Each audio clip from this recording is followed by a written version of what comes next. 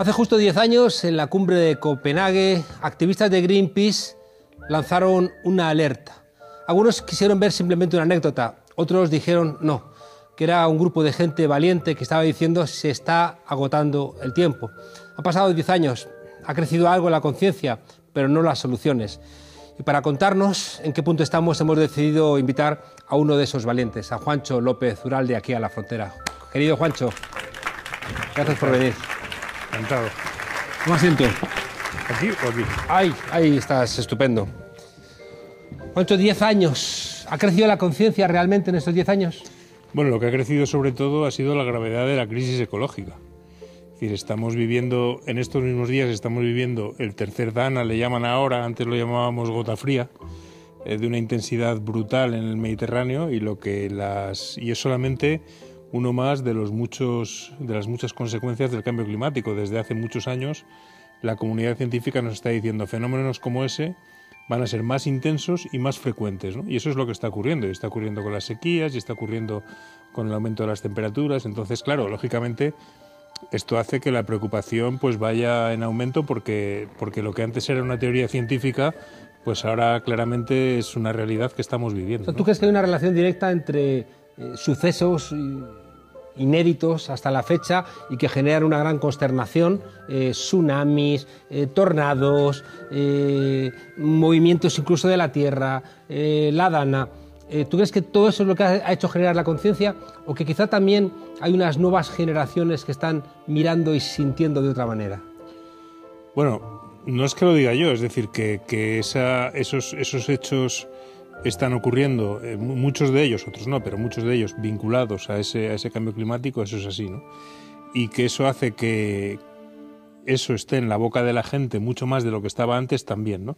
Y creo que eso tiene que ver también con, la, con, esa, con ese movimiento juvenil que está emergiendo y que de alguna manera emerge como preocupación ante lo que ellos están viendo, ¿no? Mm. Ante la degradación rápida, mucho más rápida, porque quizás los científicos, si se han equivocado en algo, es en los ritmos. Es decir, el diagnóstico que dieron sobre lo que iba a ocurrir se está cumpliendo. Lo que pasa es que está yendo mucho más rápido de lo que ellos mismos nos advertían. Ya.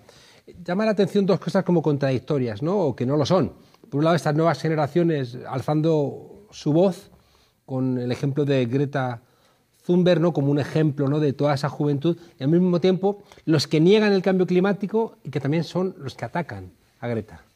Es una paradoja, sí. Es una paradoja que, cuanto más grave es la crisis ecológica, más fuerte hablan los negacionistas, sobre todo de un negacionismo que yo considero que es un negacionismo estratégico, es decir, no es un negacionismo científico, porque no está basado en, en, ninguna prueba científica, porque la ciencia es unánime en el sentido de que el clima está cambiando por la acción del hombre, es un negacionismo puramente estratégico de partidos que, y personajes que buscan el voto de aquellas personas pues que prefieren pensar cómodamente que bueno que esto que ya bastantes problemas tienen como para ocuparse de otros no como es el cambio climático ¿no? es un voto como que apela al egoísmo no es decir tú no te preocupes no hay cambio climático haz lo que te dé la gana exactamente exactamente exactamente. Y además es que yo me niego a creer que me niego a creer que eso esté que los mismos que lo promueven eh, piensen que es cierto porque ellos lo, deben, lo tienen que saber necesariamente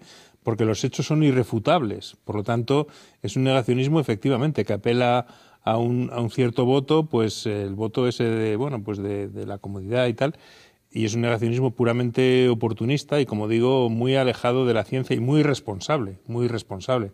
funciona igual en los medios de comunicación, ¿no? El otro día, en un debate, una eh, periodista si se le puede llamar así, ¿no? de OK Diario, eh, decía, sí, soy negacionista, ¿y qué? ¿no? Encima con una jactancia, el mismo día que estaba teniendo lugar la dana, ¿no? Sí, y luego, por ejemplo, Rocío Monasterio decía aquello del consenso progre. Dice, oiga, es que esto no es el consenso progre, es el consenso científico. Hmm.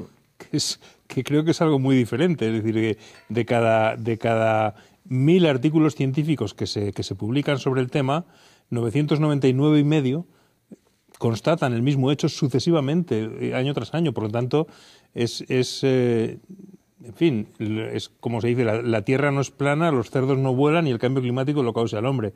Y a partir de ahí podemos empezar a hablar. Ya, pero también es la misma gente que después, por ejemplo, en Estados Unidos, te va a negar a Darwin y te va a decir que es que venimos de Adán y Eva. Pues ese es el, ese es el drama que tenemos, ¿no? O, de Bolsonaro diciendo que, la Amazonía lo están quemando las ONGs, ¿no? Este es el drama que tenemos, ¿no? Que en esta situación de, de crisis, eh, pues la gente busca amarres que dan una cierta seguridad y, busca, desgraciadamente en ocasiones, pues eh, los amarres en este en esta franja ideológica de extrema derecha. Y yo creo que ahí tenemos un reto precisamente para dar respuestas a la gente. ¿no? ¿Cuáles son los elementos más evidentes del cambio climático? Bueno, el más evidente es el aumento de las temperaturas, que es indiscutible y que además en la región mediterránea y, y en concreto en España va más rápido que en el resto del planeta. Es decir, la región mediterránea, por su posición geográfica entre, entre el África más, más seca y el norte de Europa, es una región frontera y es una región que se está viendo especialmente afectada. Aquí la temperatura ha aumentado ya 1,5 grados, que es lo que, lo, que la comunidad científica nos está diciendo que en ningún caso deberíamos superar, ¿no? Por tanto... ¿La medición de los últimos 200 años o con cuál es la medición? Bueno, se toma, se toma como, como elemento, pues eh, sí, desde que se empiezan a, desde que se empiezan a mm. tomar a tomar medidas de temperatura desde hace unos 150 años aproximadamente, ¿no? Mm. desde antes de la revolución industrial, ¿no? La concentración de carbono en la atmósfera ha pasado de 350 ppm a 407 ppm. Es decir, esto, estos son datos irrefutables. El nivel del mar está subiendo. la temperatura del Mediterráneo está subiendo 0,35 grados por década. hablamos, de, hablamos de hechos, ¿no? Y por eso yo cuando, cuando defendimos en el Congreso la declaración de emergencia climática, yo precisamente apelé a los negacionistas y les dije, vamos a ver, Aquí vamos a hablar de una serie de, de una serie de hechos y una serie de datos. Sube usted aquí y dígame que alguno de estos datos es mentira, pero dígamelo con, dígamelo con, con ciencia, es decir, ¿con qué informes científicos me va a decir usted que las temperaturas no están subiendo, o que el nivel, o que el mar no se está calentando, o que el nivel del mar no está subiendo, o que los glaciares del Pirineo están desapareciendo, o que el hielo de Groenlandia se está deshaciendo? Es decir, que son muchísimas las evidencias, muchísimas. Hay aparte de esto, supongo que también intereses económicos. Bueno, precisamente yo el otro día mm, reflexionaba en, público, en nuestro blog, en Ecologismo de Emergencia, reflexionaba sobre por qué estamos perdiendo la lucha contra el cambio climático. Porque a mí me parece muy grave que si en el año 92, hace ya pues 27 años, la comunidad internacional decidió que el cambio climático era tan grave que había que hacer un convenio para luchar contra él, que todavía en el año 2019, donde estamos ahora, las emisiones hayan aumentado un 0,6%, según se anunció eh, en, la apertura de la cumbre del clima el otro día en Madrid, Antonio Gutiérrez, el secretario general de Naciones Unidas. ¿no? Por lo tanto, llevamos 25 años y las emisiones continúan aumentando. Entonces, yo decía, bueno, ¿esto a qué se debe? Porque hay que buscar unas razones, porque si pensamos que tenemos que frenar todo esto y seguimos con la misma inercia, y no cabe duda desde mi punto de vista, que esto se debe al papel de las corporaciones energéticas y especialmente las de los combustibles fósiles, que han hecho todo lo posible y todo lo posible en todos los frentes para evitar el avance de medidas contra el cambio climático. ¿Qué significa todo lo posible? Desde financiar el negacionismo a través de fundaciones, sobre todo fundaciones norteamericanas, que se ha demostrado fehacientemente que están financiadas por empresas petroleras, intentar, por supuesto, pagando a lobbies muy activos que a nivel nacional no se, no se adopten legislaciones específicas que puedan perjudicar, perjudicar entre comillas, el comercio de, el comercio de estos combustibles fósiles. Y, por supuesto, con una presencia muy activa en estos convenios internacionales, pues con sus países aliados, que son los productores, como Arabia, encabezados por, por Arabia Saudita, que hacen lo posible para que no se avance. ¿no? Entonces, todo esto hace que las, las medidas vayan muy lentamente avanzando. Lo estamos viendo en esta COP25. ¿no? Hay un tema que, que nos ha llamado la atención a muchos, como el día que empezaba la cumbre, la compañía energética que más contamina, que es Endesa, en España, tenía compradas las portadas de todos los periódicos españoles, de todos. Para decir, bueno, ellos, ellos, ellos van a ser verdes y tal. Bueno, si van a ser verdes, cuando lo hayan hecho y hayan reducido sus emisiones, etcétera, etcétera, que pues se, que, se cuelguen la medalla. Que nos lo expliquen. Mm. Pero ahora, la, la, empresa que más, que más contamina, que, que, financie la COP y tal, bueno, pues todo esto mm, pues da que pensar. ¿no? ¿Por qué molesta tanto Greta Thunberg? Es una, es, una buena, es una buena pregunta, porque Greta, al fin y al cabo, pues es una niña que una chica, un adolescente, que un buen día decidió que los viernes, en vez de ir a clase, se iba a poner delante del instituto, delante de donde fuera, con un cartel pidiendo medidas contra el cambio climático. Ese es su único crimen. Y sin embargo, eh, eso ha concitado o ha levantado pues un, un, movimiento juvenil en todo el mundo de millones de personas y eso es lo que molesta. Entonces, ¿qué, hace la, ¿qué hacen las corporaciones? ¿Qué hace todo este sector negacionista? Atacar al mensajero. Atacar al mensajero para desviar la atención sobre el mensaje. El mensaje de Greta Thunberg es muy claro. Somos una generación que viene y queremos que nos dejéis un planeta en el que se pueda vivir. Y entonces el, ataque que se está haciendo contra ella, pues de alguna manera lo que trata es de ocultar el, de ocultar el, el, lo que lo que hay lo que hay detrás, ¿no? No es nuevo y bueno, el otro día a mí me gustó mucho la portada de una revista de Ballena Blanca que venía a decir algo así como ¿por qué tanta gente habla de Greta y nadie habla de Donald Trump o nadie habla de Bolsonaro? ¿no? Que eso sí tienen responsabilidad real y de ellos no se habla. ¿no? Yo creo que forma parte también de ese lobby que tú planteas. Absolutamente. Si de repente hay una mujer joven con un discurso muy contundente diciendo tengo 16 años cuando tenga vuestra edad eh, no voy a tener planeta. Entonces, eh, dejad de hablarme de vuestros beneficios y de vuestro planeta porque, es el que niega el mío. ¿no? Entonces, es muy difícil luchar contra una niña. ¿no? Efectivamente, efectivamente. Y por eso les hace tanto daño. Por eso hace tanto daño y por eso le atacan de una manera cruel pero al mismo tiempo pues intentando bueno como hacen como hacen siempre que alguien levanta la cabeza no pues desprestigiarlo, eh, denostarlo.